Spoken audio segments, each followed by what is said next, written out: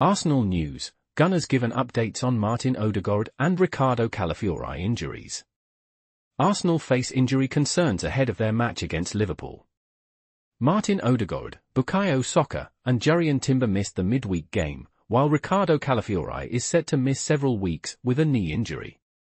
Norway manager Ståle Solbakken is hopeful Odegaard will be fit for the November international break. William Saliba is suspended for the Liverpool match. Please subscribe to my channel.